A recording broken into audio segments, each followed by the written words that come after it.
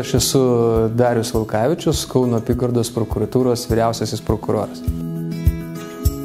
Mano asmeninis siekis yra toksai, kad e, Kauno apygardos prokuratūra su visais struktūriniais padaliniais, ar tai būtų e, Kaunas, e, Alitus, Marijampolė, būtų tam tikra laboratorija kolegijos studentams.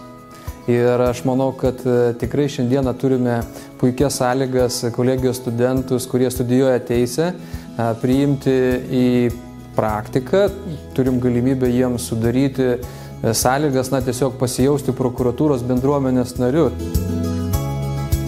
Šiandieną prokurorai dirba su informacinė prokuratūros sistema, su e, integruota baudžiamo proceso sistema ir su dokumentų valdymo sistema.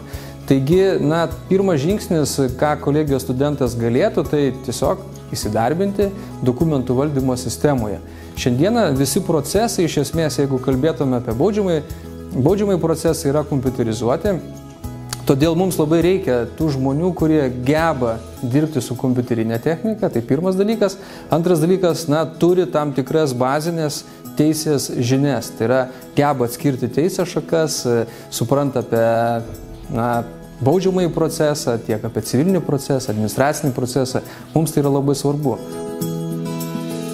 Kai norėčiau palinkėti būti drąsiems, e, ieškoti sprendimų būdų ir e, kalbant apie drąsą, tai tikrai manau, kad jie gali eiti, klausti, žiūrėti, domėtis, ieškoti e, į prokuratūrą, todėl kad na, prokuratūra atvira visiems šiandieną, ypatingai studentams, kurie studijuoja teisę.